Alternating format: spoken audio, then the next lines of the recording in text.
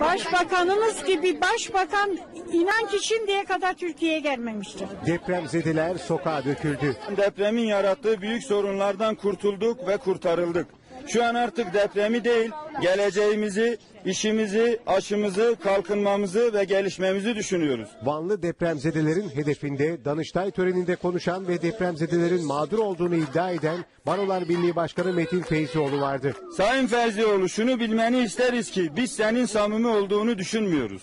Zamanında yanımızda olmadıktan sonra bugün yapmaya çalıştığını samimi bulmuyoruz. Eğer iyilik yapmayı istiyorsan ya Van'ın kalkınma ve gelişmesi için elini taşın altına koy ya da hiçbir şey yapma sadece sus. İki yıkıcı deprem sonrası kentin yeniden inşa edildiğini söyleyen depremzedeler Feyzioğlu'nu protesto etti. Van sadece sözüne sözünü ettiğin konteyner kentte kalan 67 aileden ibaret değil. Depremzedeler hayalini bile kuramadıkları evlere sahip oldukları için başbakana teşekkür etti.